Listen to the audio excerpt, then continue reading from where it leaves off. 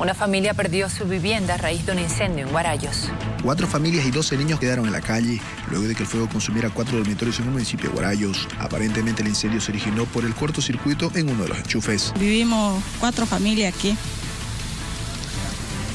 Son cuatro dormitorios que se ha quemado y ha quedado sin nada, absolutamente sin nada hemos quedado. Por eso no sabemos cómo pasar, por eso quiero que por favor la gente que me estén viendo en este momento, yo quisiera que pasen por aquí por mi casa, al lavadero de Don Simón, a la diagonal, aquí lo, estamos, lo voy a estar esperando. Ante la desesperación por salvar sus pertenencias, dos personas resultaron con quemaduras.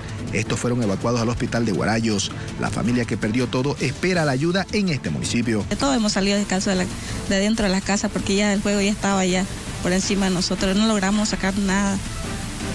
Todo se